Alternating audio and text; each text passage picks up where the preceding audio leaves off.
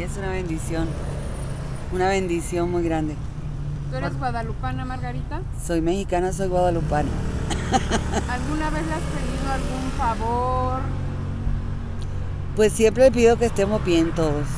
Un favor como tal, no, pues siempre me cargo a la Virgen. ¿Te ha hecho un milagro? ¿Has, has vivido algo en carne propia? Pues el tener la vida yo creo que ya tiene mucho que ver. Claro. ¿Qué le agradeces este año, eh, Margarita, a la Virgen?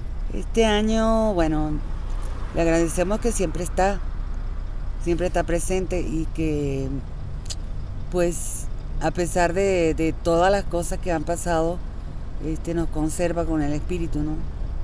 Claro. Oye, Margarita, nos ha sorprendido mucho que has bajado mucho de peso. Ah, sí. Has sido una inspiración para muchas mujeres. Ay, muchas gracias.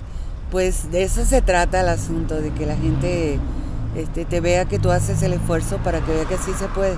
Pero sobre todo porque lo quieres tú, no para ti, no, no por alguien más.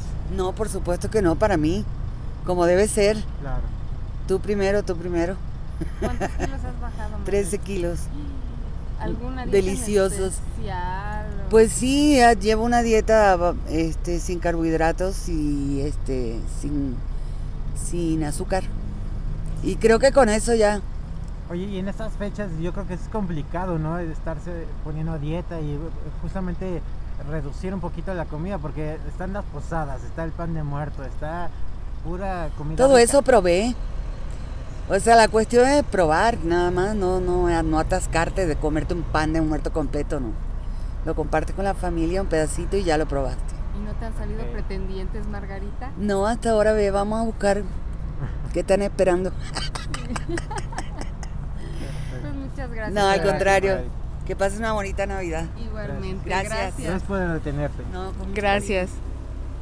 Ya saben que los quiero mucho. Y Gracias, nosotros igual, a ti.